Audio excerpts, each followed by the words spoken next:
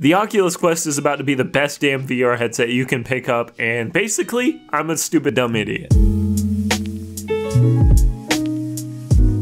I just got done watching a quick recap of the Oculus presentation. I'll link it in the description because we're only going to really cover the stuff that addresses my previous points made in my last video, but I am both extremely excited for my Quest and very embarrassed for the last video I put out. I don't write scripts for these videos, and I feel like a lot of the negative perception I got on that video was partially brought from the way I presented myself. From the very first Oculus Quest video I made, I feel like this is the direction VR needed to go in. And Oculus did a great job of bringing that hardware to the table, but basically the point I was trying to make in that previous video was that for a $400 headset, I just felt like I wasn't getting the best experience out of it with the content on offer. The actual tech and tracking on the Quest completely blows PSVR and a lot of other headsets out of the water. But for me, I just wasn't enjoying the games on offer. But from the perspective of somebody with a high-end PC, one of my biggest complaints was that you couldn't really use it as a PC VR headset. Outside of streaming, I know you can stream, but that's not something I really wanted to do. But now, in the words of Mark Zuckerberg, your Quest is basically a Rift now too. The Quest is basically going to double as a Rift because Oculus is going to be bringing native PC support to the Quest via USB Type-C and I think this is fantastic. I can finally have my cake and eat it too. I can have those great wireless Quest experiences while having support to my PC. And that is awesome because one of my complaints was that I usually don't take advantage of the wireless connectivity of the Quest. I usually just use it around my room and this will allow me to get the best of both worlds basically. I can get all that amazing PC content while also getting some of the wireless freedom that the Quest content brings. You're now going to be able to run all the Rift content on your Quest. Also, as a completely unexpected bonus, they're going to be bringing full hand tracking to the Oculus Quest early next year. What? I know the Quest has cameras on it, but I didn't actually expect to even be able to do something like this on the Quest. But yet, here we are getting an incredible new feature I wouldn't even expect to see on this damn platform. We can set the controllers down. We don't even need those things, so you can just use our hands now? Of course, actual software and games are gonna have to support this, but this is extremely cool. They also talked about face tracking and some mixed reality stuff, which is just kind of mind-blowing to think about, but the fact that they're bringing native PC support through USB Type-C, no streaming, and hand tracking just completely blew my mind. My only question is where's this gonna leave the Rift S? It makes it feel more like a placeholder to me, because what would be the point of picking up a Rift S now? For the same price, you get the wireless freedom that the Quest offers, and you also get a full-on PC VR headset, albeit a little heavier headset than the Rift S, but who cares when you're getting all that functionality? You're essentially getting two VR headsets in one. You're getting an incredible value for the money. And now you'll be able to basically play whatever you want on the Quest, so